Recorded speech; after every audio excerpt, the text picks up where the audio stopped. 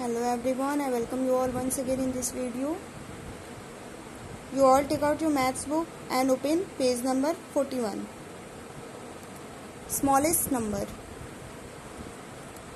Write the smallest number on the vacant petal of the flower.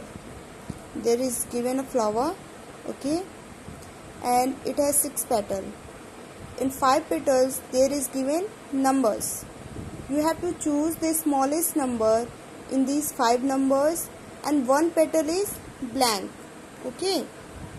One petal is blank.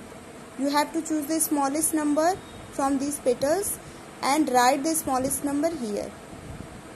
In these which is the smallest number? 26 26 is the smallest number. Then we will write here 26 understood? Like this page number 42 largest number. Write the largest number on the vacant petal of the flower.